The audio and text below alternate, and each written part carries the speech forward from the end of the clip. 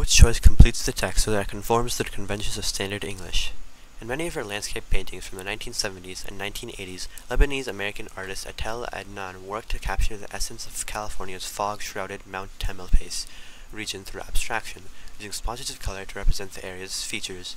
Interestingly, the triangle represented the mountain itself, blank, among the few defined figures in her paintings. A. R.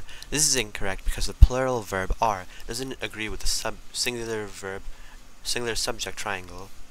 So A is incorrect. B. Have been. This is incorrect because the plural verb have been doesn't agree with the singular subject triangle. So B is incorrect. C. Were.